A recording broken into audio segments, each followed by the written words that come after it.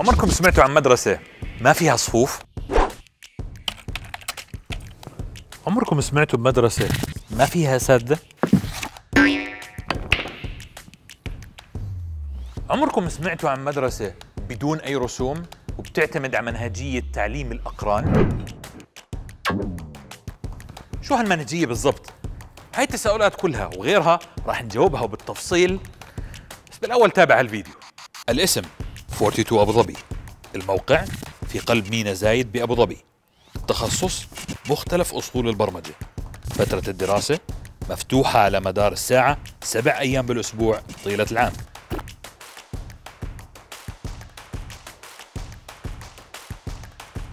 مدرسة 42 أبو ظبي اللي افتتحت في عام 2021 احتلت المرتبة الأولى في تصنيف مدارس البرمجة في العالم. وتعتبر الأولى في منطقة دول مجلس التعاون الخليجي اللي بتنضم إلى شبكة 42 المتنامية عالميا واللي افتتحت أول مدرسة في باريس في عام 2013 ستوفر المدرسة المتطورة منصة تعليمية جديدة لبناء المهارات الرقمية المطلوبة لريادة اقتصاد المستقبل القائم على التكنولوجيا في القرن الواحد والعشرين.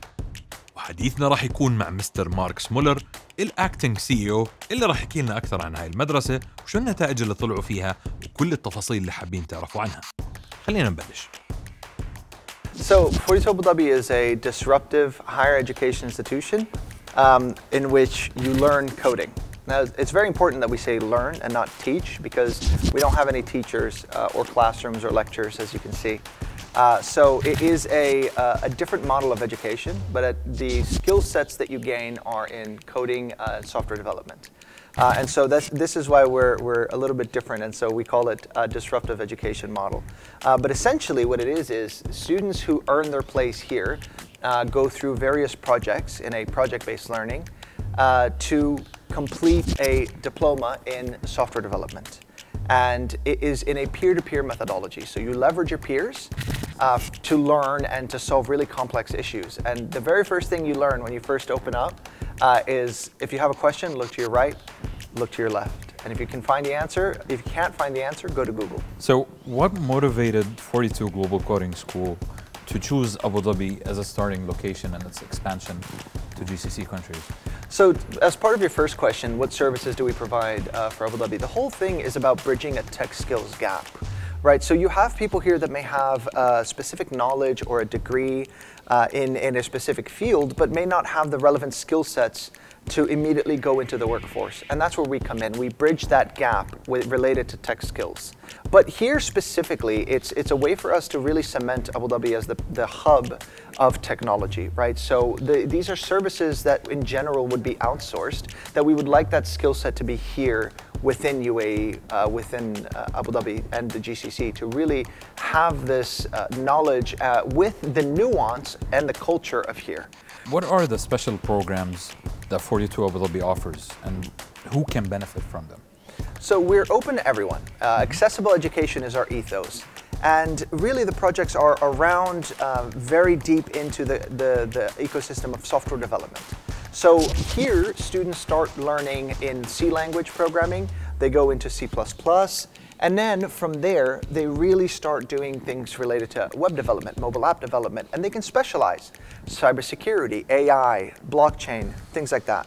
Um, and so these are skills that are relevant and in need into the workforce today that allows them to really, really, really have a, a position in the workforce. So, how integrated 42 Abu Dhabi is with um, Abu Dhabi's tech market and entrepreneurial scene overall? So we do partner with uh, industry partners uh, to benefit our students. So in order for them to have uh, stipends or uh, sponsorships or uh, job placements, things like that. So we are always very closely related to the industry. We want our students to be closely related to their entrepreneurial side as well. So when they learn to figure things out throughout the program, they naturally tend to flow into a curiosity of, well, how can I bring my ideas to life? Uh, how can I start my own company? How can I start my own business? So, I was just about to ask do companies actually reach out and scout, like check Yeah. What kind of talent do you Absolutely. guys have, and you know, unique students, uh, specific uh, programming languages or something? Absolutely. So the benefit the benefit of a program like this is that the students aren't uh, bound to programming language, right? Once you learn the knowledge, it's like teaching them Latin and asking them to learn uh, Romanian, Portuguese, French, right? So there, there's all these connections that they can make because they learn the structure and then they can just kind of extrapolate from there.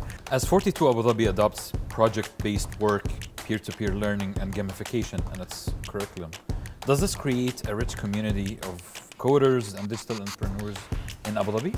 Yes, absolutely. So uh, we actually find that although we have a lot of expats here, uh, most of them are living here or were living here before and want to continue to stay here. So they want to keep the skill sets here.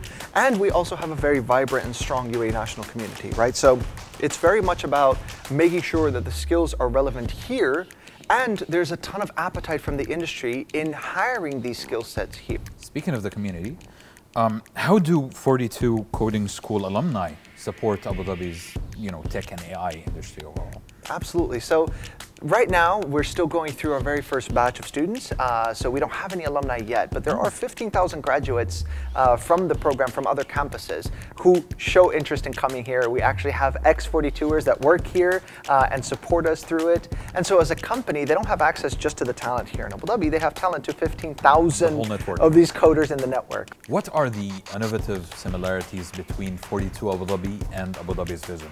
So the vision of Abu Dhabi to be the at the forefront of technology, a technology hub uh, within the GCC in the Middle East, is actually directly aligned with what we do here. Right, having this skill set here, being able to apply these cutting-edge technologies are really relevant to the vision of making sure that we're at the forefront. Thank you very much, Marcos, for this interview and for- for giving us some of your valuable time. It's been uh, really awesome to see this place. And uh, yeah, I'm, I'm looking forward to seeing this in more and more cities. Thank, Thank, you, so for much coming. for your time. Thank you so much for Now coming. let's finish this game. Yeah, absolutely. Let's go.